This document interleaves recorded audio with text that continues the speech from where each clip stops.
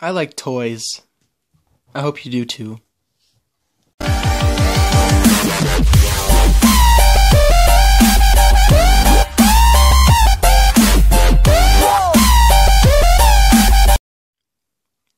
Alright, what's up YouTube, ZSB Vids here, and today I'm going to show you guys how to make these really cool toys called hurricane balls. Now these things um, spin super fast, and they're really fun to make, uh, and they're just fun to play with because you basically spin them like you would like a top or something, and they spin for a super long time, and you only need three things, pretty much.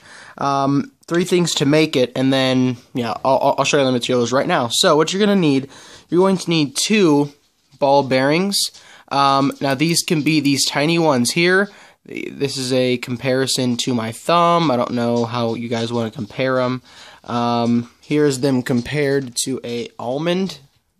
Let's see if it'll focus here. Uh, I'm trying to get it to focus, but I don't think it will because it's because this thing hates me.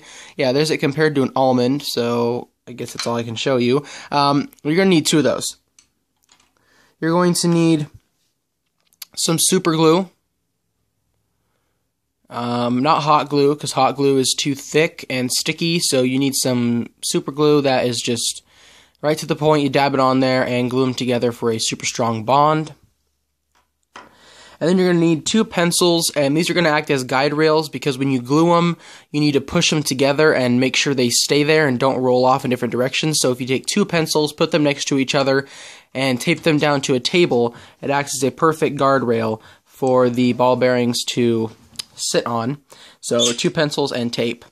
That's pretty much all you need. Right now I'm taking tape and marking because you see how if I were to, um, you know, if you know, they roll apart. You see that, how they are able to roll apart? I'm not going to let that happen. I'm just going to take some tape and place it right where they both sit, so when I put them next to each other, they don't have the opportunity to roll away. Because we want this to be a super accurate and strong gluing process. So now they're not able to roll away from each other, and they're forced to sit right next to each other and have a, a, nice strong bond.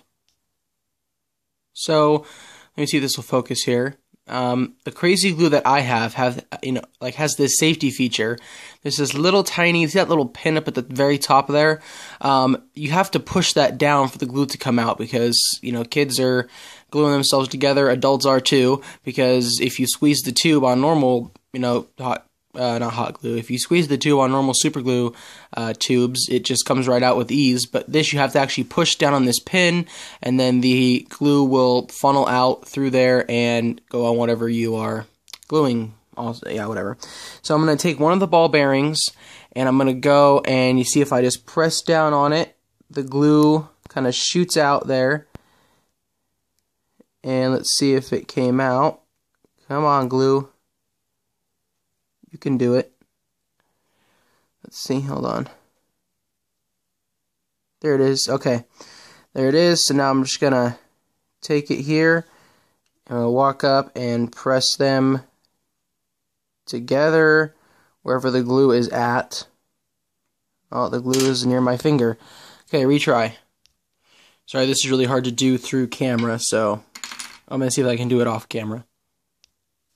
Alright guys, so I got the two balls glued together, and uh, they're gonna need. I'm. Uh, they, it, it takes about like a minute to dry, but I'm just gonna give it 10, just so it's a super strong bond. But yep, they just sit right there and get nice and glued together, and then we can see what these things can do. Now, pretty much what they do, if you look up hurricane balls on YouTube or on Google, um, they're just they're just they're just super cool. They pretty much just spin at like a super fast rate, and they stay spinning for a long time. And if you shine a light on them, they make the like they make like a really cool reflection and makes it look like a tornado. It's just really cool and it's just a really fun toy. So I'm gonna wait till these uh, wait till these dry and then we can turn on the flashlight on my phone and then we can see how they spin. Now they say to do it on a mirrored surface because that's when it looks the coolest. So I'm gonna get a small mirror and that is what I'll be filming on when we come back. See you then. Hello. Alright guys, here we are back with the mirror and the hurricane balls. Now you see they're glued together and they look nice. So now we're just going to, you pretty much just take it with your two fingers and you spin it. You gotta spin it faster than that.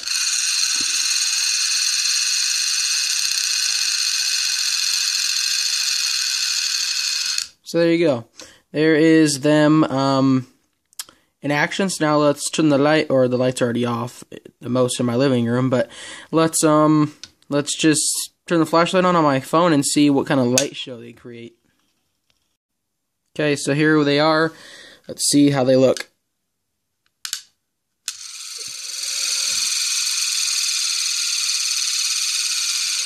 Let's move it towards the front so we can get a better angle. Okay, so here I am above the mirror. Let's see. Here. Crap.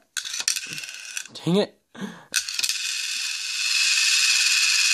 That's pretty cool. There's like there's like four rings that you can see. I'm just not spinning them good. There we go.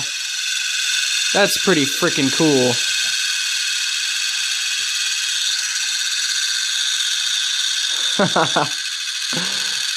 That's really cool. That's freaking sick. I'm gonna show you it in slow motion.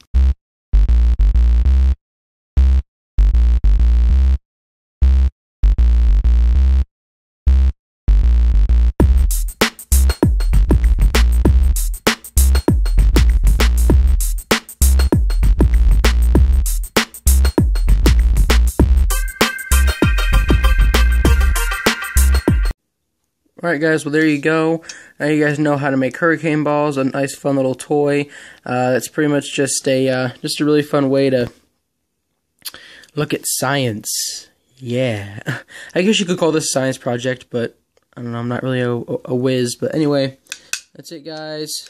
Thanks for watching, and I'll see you guys in the next video. ZSB Vids signing out. Peace.